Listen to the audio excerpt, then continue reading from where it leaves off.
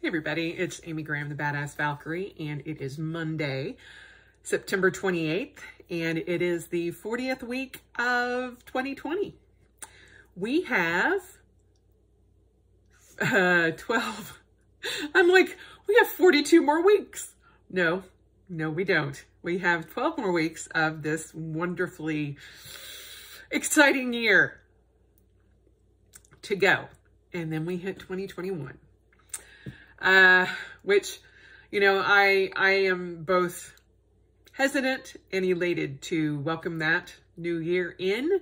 However, I am also trying to make the best of what's remaining of 2020 and uh, get through it as best as we can. Um, today's focus for the Finding 52 Challenge is making time for what you love. And that can be pretty much anything, but actually scheduling out time and figuring out a time to do what you love is very important. And whether that is taking time to, you know, write in your planners, update your planners,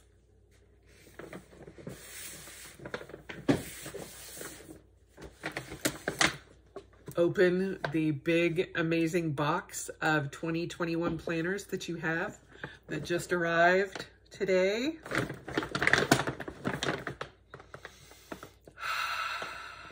I can smell the Hobonichi from here. Anyway, I don't get to open this for another six hours, so till then, it's just gonna be my office mate today. Um, but taking time or scheduling time to do what you love is very important. Uh, this past weekend, I ran a 10K. It was Run the Blerch, and it's based off of the Blerch uh, cartoon done by the Oatmeal. And it's one of my favorite uh, cartoons uh, done or comics that have been done about running. And I will actually link it down below because every time I get down on running, which is something that I do love to do. Two years ago, I could have never gotten those words out of my mouth with a straight face, but I actually do love it. And uh, part of what got me to there, and when I was having so many problems and not thinking this was going to be something that I was going to ever do in my lifetime. The oatmeal and the blerch got me through. Now, this has been the first time that I've ever actually been able to run one of the races because it was held virtually this year because of the pandemic. Otherwise, I would have had to travel all the way up to Seattle to do it.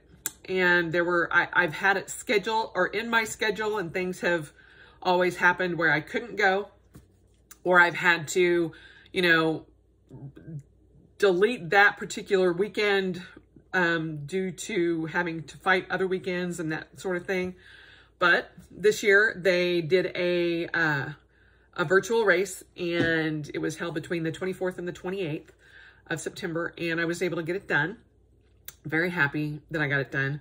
But I also had to schedule it into my schedule and I had to prepare for it because running a 10K, which is 6.24 miles, is not the same as running two and a half miles every day, like I've been doing, uh, or even running four miles like I've done on the past couple of Sundays. And Sundays is usually my longer run. And uh, yesterday was an extensively longer run. Uh, the, the, the difference was only two miles, but that is a huge difference for someone like me, who is a heavier racer or a runner, who is a runner with chronic injury, and who, even though I've been steadily doing a run every day, extending that uh, longer than I'm used to can put some definite hazards on my body.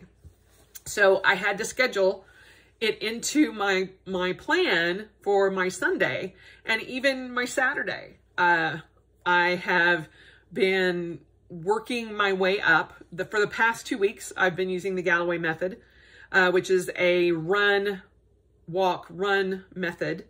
And um, it has helped increase my pace. It's helped reduce the stress that's on my body, all of that. But it's also something that I had to take into consideration because this is this is a longer race than I was normally doing. Now I could have done a 5K. That would have been super easy because I was used to doing a 5K every Sunday. Um, and then I'd upped it to four miles. And so a 5K is 3.10 miles. Um, but I felt like I wanted to do uh, the next step, which is the 10K. And I still may end up doing, well, I know that I have another 10K scheduled in October, so it should happen in two weeks.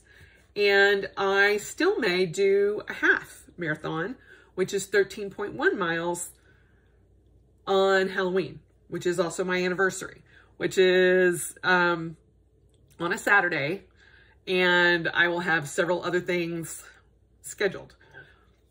Don't know if I'm going to get that done or not, but it would also be a virtual race. So we will see. But scheduling things that you love into your schedule takes effort.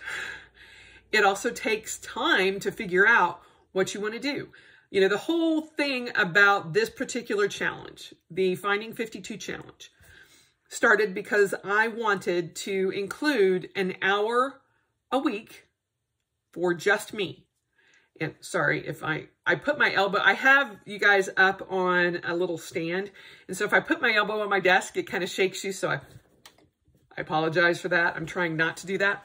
Um, Finding 52 started because I wanted to find an hour every week to, to focus on self-care. And a lot of times that meant figuring out something that I could do during my time frame, during my schedule, uh, to get that hour done. Because I wanted it to be an hour block or more for self-care. Not 20 minutes here, 10 minutes there, 15 minutes here.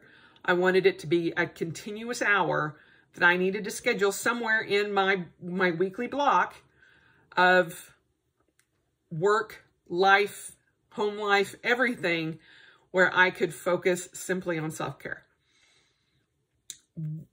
Being at home, working from home, it's kind of a never-ending day for me. And I'm sure it's like that for a lot of you who are still working from home. Uh, my schedule is nothing like what it was when I was actually commuting to the office. I I had very little time that was my own because I had to work, I had to do a 40, 40 minute commute to and from work. I had eight hours of working. I had to sometimes do events in the evenings and plan for that. And then getting work done and such for my channel, my everything involved here. Uh, also, you know, had to get done as well in a particular day's schedule.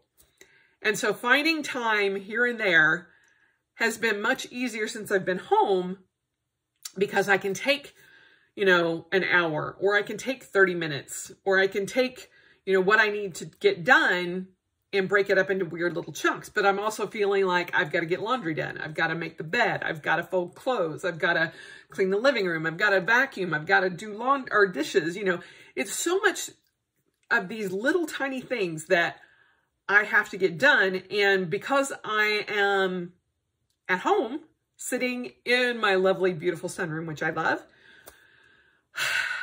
it all just kind of clusters together. And if I don't take time and schedule it out and figure out what I want to include first, then it can the day can just get away from me and I lose it. Um, one of the prime examples is my Pell work, which is me taking my sword out to my backyard and there is a, for all intents and purposes, a stick man tied to my tree that I actually practice on. He's my practice dummy. And part of my progression this month has been that I wanted to do what we call Pell work every day. I've done it maybe half the time this month because I have not been consciously scheduling that into my daily schedule and write literally writing it down into my into my daily schedule and it's gone by the wayside. I have not gotten it done daily, not even, you know, every day during a week yet. And so this week I am trying to prioritize that and hopefully have it go into the month of April, month of April. Oh my gosh, month of October.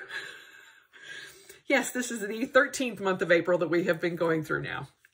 No, I, I'm trying to get that done in the month of August. Honestly, I know it's September 28th. I just said it. My brain has no clue what month we're in, evidently. in the month of October, I would like to get that done daily. And so that's one of my goals. Uh, I also am going to start a new run challenge.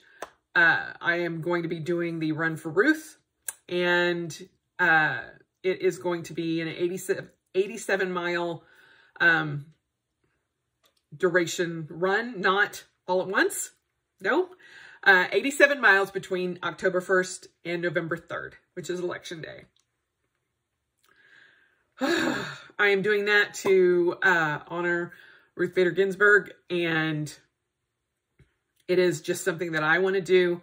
Uh, I'm actually going to sign up for the Run for Ruth uh, so that there's like a medal and a t-shirt and all of that. But um, those are the dates that I'm choosing to do the run or doing the 87 miles is uh, October 1st to November 3rd. So ending on election day. But I need to schedule that in and I also need to to know how many miles per per day I'm going to have to do to get to reach that um, milestone.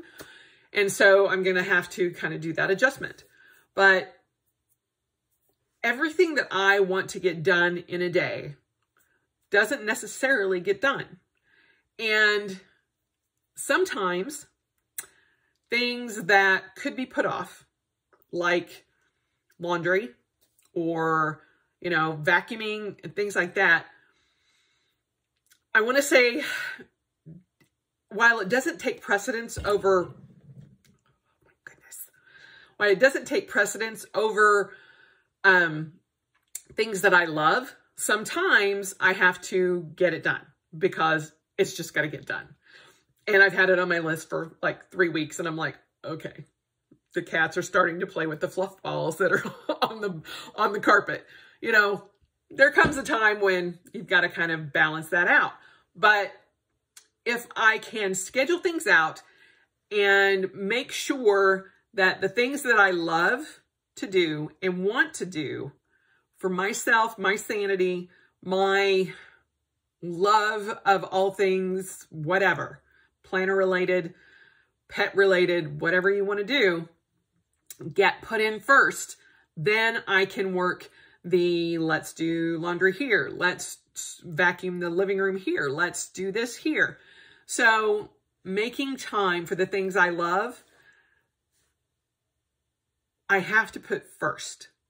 Now, obviously work and all of that comes first first, but once I have my work schedule put in, then I put the things that I truly love in next. Because if I don't, it gets, my schedule gets filled up with stuff that is kind of superfluous that I'm like, okay, I, I could do this, I could do that, I could do this, I could do that, you know, gaming or whatever. But if I have it in my schedule, just like running, just like my morning meditation, just like my morning pages, just like my evening reflection, that kind of thing. If I can keep that in my schedule, then it makes it much easier for me to work that stuff in daily or weekly. And as I was going back, trying to make sure that what I was going to start talking about in, in my different Hobonichi posts and things to show you how I've been doing uh, certain things in like my weeks and in my Hobonichi Avec, I was like, oh, what, what did I do for self-care? I know I did something. I did something, right? Mm, maybe I didn't. And it's kind of interesting since this is my challenge that I created and I'm like, seriously? There are weeks that you've actually missed doing self-care because you didn't put it in your schedule. Yes, yes, there actually are weeks that I've missed because I did not put it in my schedule. And things got so chaotic that I didn't get it done. It happens to the best of us, even the people that create these damn challenges.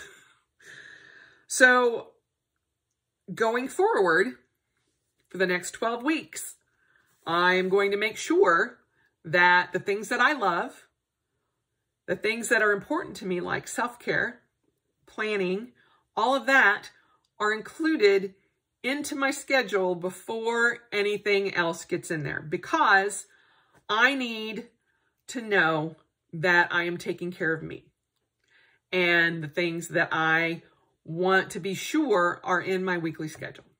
So that is the focus for this week is making time for what you love.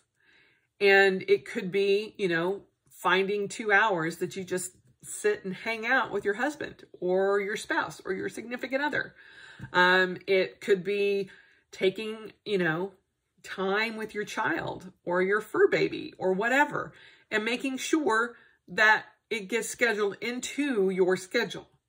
Now, that doesn't mean that it can't change, but if every day at noon you go outside and you beat the heck out of your Pell guy for 15 minutes, great. That means that every day at noon, I know where I'm going to be. I know what's going to be on my schedule. I know not to schedule other things over that. Or if I do, I know that I need to move whatever that is, my Pell time, sometime else later in the day. And I need to adjust my schedule. So making time for what you love is supremely important. Making time for self-care is very, very important as well. You need to take care of you before you can take care of anybody else. And in the days of the pandemic, with everybody being home, everybody having their own schedule, everybody being thrown into all these different chaotic things going on and you're like, oh my gosh, I can't do this because I have this and I have that and I have this and everybody else needs something from me. Taking time for yourself, making sure that what you love is in your schedule as well as everything else that's going on in your world is supremely important. So, make time for what you love regardless of what it is, even if it's taking 15 minutes and having a perfectly amazing cup of coffee or having that cup of coffee with a friend via Zoom. Whatever it is, make time for it because it's important. Not only for your well-being and your health, but your mindfulness, your, your everything. It is important for you to make time for what you love. Because time is the one thing we can't get back. You know, yesterday is done. There's no way I can go back and go, oh, but I meant to do this. Can I get a do-over? No, there's no do-overs. So make sure that your schedule has time for something that you love. That's the focus for this week. And uh, I'm going to be making time for this big bad boy later on today.